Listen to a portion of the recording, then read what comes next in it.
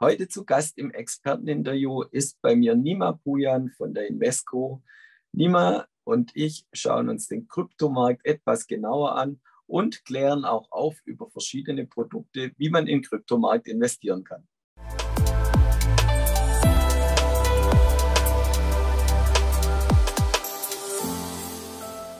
Herzlich willkommen, liebe Zuschauer, zu einem neuen Experteninterview hier bei BXWIST TV.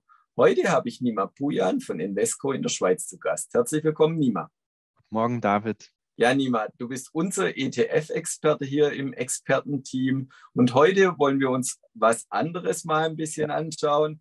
Ja, ihr habt auch Kryptoprodukte auf den Markt gebracht. Wollen wir die Kryptoszene vielleicht insgesamt anschauen? Wie hat sich denn der Markt entwickelt die letzten Wochen? Ja, das stimmt. Ähm, wir sind als Krypto-Anbieter oder Blockchain-Anbieter jetzt mittlerweile seit drei Jahren bekannt mit, mit dem Blockchain-ETF, den wir vor drei Jahren lanciert hatten. Und im November letzten Jahres sind wir live gegangen mit dem Bitcoin ETP. Ähm, vom Markt her allgemein, das waren natürlich jetzt relativ spannende Monate und Wochen, muss man sagen, im Kryptomarkt, äh, was wir gesehen haben. Relativ starke Volatilitäten auch bei den Crypto-Assets mit einem Abverkauf, der dann im November losging, im Januar sich dann auch fortgeführt, äh, fortgezogen hat. Ähm, hatte natürlich mit, mit der Zinsentwicklung am US-Markt zu tun, mit dem Fed Tapering. wenn man sich allein die Performance-Zahlen dann auch anschaut, der US-Tech-Bereich hat seit Jahresanfang acht, über, über 8 Prozent verloren und äh, Bitcoin beispielsweise äh, knapp 5 Prozent. Also wir sind relativ ähnlich wie Tech-Werte was, was die Performance year to date angeht. Aber wir sehen jetzt auch wieder die letzten Tage ähm, einen, einen Aufschwung, was den Kryptomarkt an sich angeht. Und es können natürlich jetzt relativ interessante Einstiegspositionen sein. Und du hast es schon gesagt, es gibt verschiedene Möglichkeiten auch zu investieren in Kryptowerte. Man kann direkt investieren über Zertifikate oder auch ETPs. Was sind denn die Vor- oder Nachteile jeweils? Gut, jedes Vehikel hat natürlich seine Berechtigung, aber ich zeige jetzt einfach mal auf, was die Unterschiede sind und da kann jeder Investor für sich dann entscheiden, was, was für ihn oder sie dann passend ist. Ich fange mal an mit Bitcoin Futures. Das ist eigentlich relativ ähm, einfach in der Abgrenzung. Ähm, der Future hat wenig zu tun mit dem Spotpreis. Das sieht man auch an den Rohstoffmärkten. Man hat Rolleffekte. Wenn man kurzfristig reingehen möchte, ist es fein. Wenn es jetzt mittel- oder langfristig ist, da hat man natürlich relativ hohe Rollkosten zum einen und zum anderen eine relativ starke Abweichung vom Spotpreis. Ja, das ist der, der, der bekannte Future, Bitcoin Future. Ähm, der zweite Punkt, äh, Zertifikate. Es gibt natürlich relativ viele Krypto-Zertifikate jetzt am Markt. Wo unterscheiden wir uns? Und zum einen äh, muss man echt sagen, über die Fees. ETFs oder ETPs sind einfach dafür bekannt, günstig zu sein. Ich habe mir jetzt vorhin einige Zertifikate angeschaut. Da liegen wir im Pricing bei 3%, 4%. Also wenn man ein komplettes Pricing mit einbezieht, die sind dann doch relativ teuer im Vergleich zu den ETPs, die, also bei uns, wir liegen unter einem Prozent. Es gibt andere ETPs, die liegen bei 1,5 Prozent. Also die sind immer noch günstiger als Zertifikate. Das ist äh, der, der eine Punkt. Und der zweite Punkt, wo äh, ein relativ großer Unterschied natürlich liegt, beim Zertifikat hat man eine Schuldverschreibung. Das bedeutet 100% Gegenparteirisiko. Bei einem ETP, dort wird wirklich dann auch in Bitcoins investiert. Das bedeutet, selbst wenn Invesco pleite gehen würde oder ein anderer Anbieter, man hat immer noch die, die Crypto-Assets dahinter liegend. Das wäre es eigentlich mit bei Zertifikaten im, im, im Vergleich zu ETPs. Und zu guter Letzt, warum sollte man in ETPs investieren und nicht direkt in, in, in Kryptos? Klar, kann man natürlich machen. Ähm, da gibt es zwei Unterscheidungsmerkmale. Zum einen, man benötigt eine Wallet. Das Ganze hat Risiken. Man, man hat, ich habe letztens eine Statistik gesehen, dass knapp 10 oder 15 Prozent der Kryptos am Markt wirklich durch, durch Hacking-Versuche dann auch verschwunden sind. Man muss auf sein Passwort aufpassen. Also es besteht eben Risiko, dass die Assets dann nicht mehr in der Wallet sind. Und der zweite Punkt, wo wir uns natürlich unterscheiden, ist, ähm, im Trading ist es günstiger, über den ETP reinzugehen, vielfach, als direkt über, über, über Kryptobörsen. Ich habe mir zum Beispiel Swissborg angeschaut.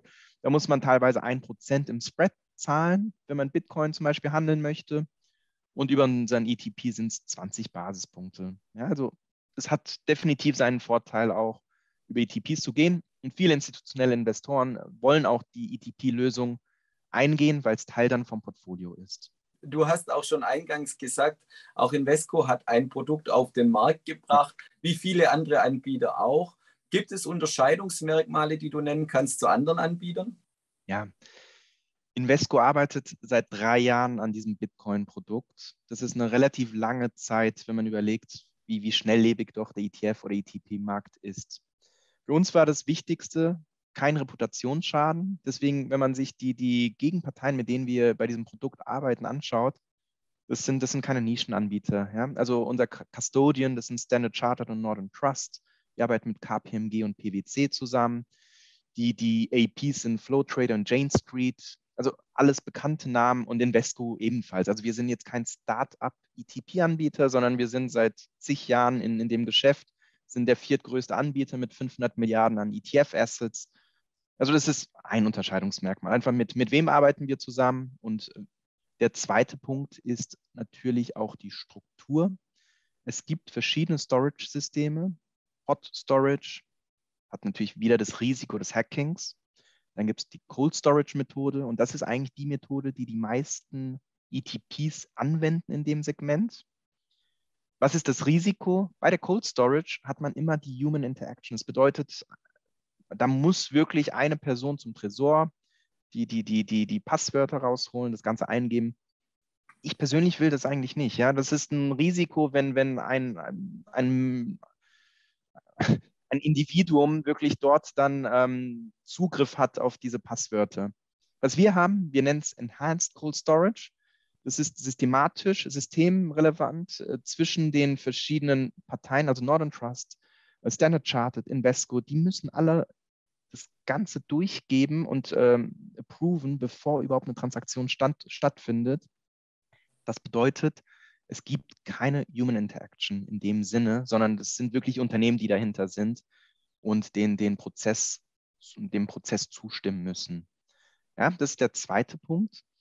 Und dann zu guter Letzt äh, ist Spreads und Fees. Ja, wir sind relativ günstig, was, was die TER angeht bei dem Produkt. Das hatte ich schon eingangs erwähnt, mit unter einem Prozent.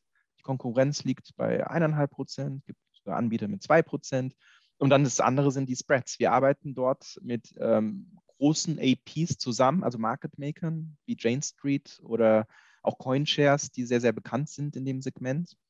Und die Spreads, wie erwähnt, 20 Basispunkte im Schnitt. In den volatilen Phasen ist es mal hochgegangen auch auf 30 Basispunkte. Wenn man das Ganze jetzt vergleicht mit anderen ETP-Anbietern, die liegen zwischen 50 Bips bis zu einem Prozent auch in den Spreads. Ja, also das, das sind die wichtigsten Unterscheidungsmerkmal. Also wir arbeiten wirklich mit, mit relevanten Unternehmen in dem Segment zusammen.